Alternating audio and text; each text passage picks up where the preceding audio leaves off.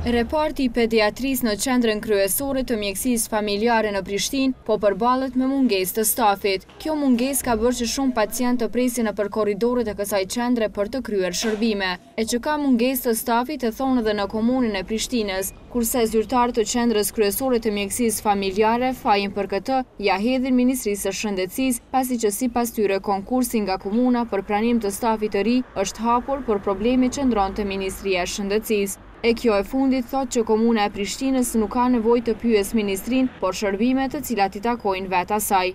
Hamide Latifaj, shefe e repartit të pediatrisë në Qendrën Kryesore të Mjekësisë Familjare, tha se janë të detyruar që të punojnë me orar të zgjatur, sepse fluksi i pacientëve është i madh.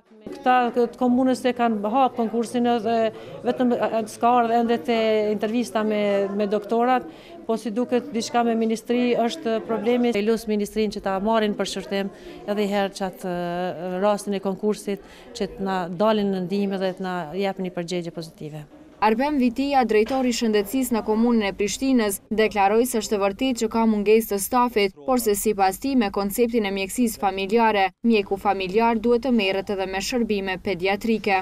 Në këtë qendër tash kemi mungesë realisht, nëse mund të quhemi ashtu, për arsye se me konceptin e mjekësisë familjare, mjeku familjar do duhej të merresh edhe me pacientët pediatrikë. Faik Hoti, drejtor i Zyrës së Informimit në Ministrinë e Shëndetësisë, pohoi për Tribuna Channel se Ministria e Shëndetësisë tha se puna rreth konkurseve në Qendrën Kryesore të Mjekësisë Familjare i takon komunës pasi që sipas tij, kujdesi parësor menaxhohet nga kjo e fundit. Hoti pohoi se konkurse për specializime nuk bëhen çdo muaj, por zakonisht një herë në vit dhe se kjo sipas tij, ndodh gjithmonë sipas kërkesave dhe gjendjes reale rreth kuadrit specialistik në nivel vendi.